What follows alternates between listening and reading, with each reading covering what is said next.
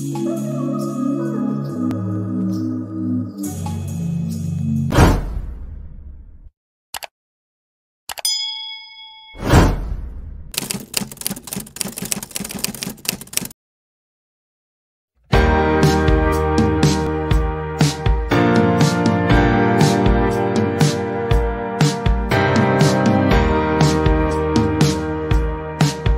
a 20 year old guy who thinks I might be in this situation.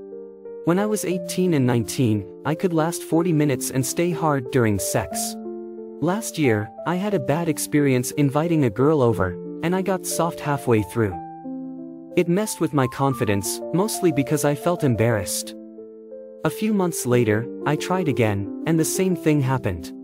I would start hard, but then something would change, and I'd lose my erection. I used to watch a lot of porn when I was younger, but that never stopped me from staying hard during sex. For the past month or two, I've stopped watching porn completely, and I feel better mentally, but I still feel like something isn't right. I'm in good shape, weigh 85 kilograms, and work out daily, so I'm not unhealthy. How can I fix this problem? Here's the fix. Losing an erection during sex, especially after a bad experience, can shake your confidence. The first step to fix this is to relax and stop worrying about how well you're performing. Here's what's happening after that first bad time, your mind starts linking sex with the fear of losing your erection, which just makes the problem worse. Try to ease up on yourself.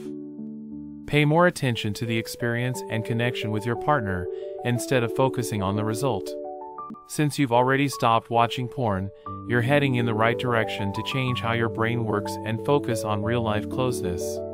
Practicing breathing and staying mindful can help you stay present and reduce your anxiety. Quick, effective, and lasting solution for ED. If you want a quick, effective, and lasting solution, try the Purple Hardening Tonic. It's a natural way to boost your sex drive and performance without needing pills, workouts, or shots.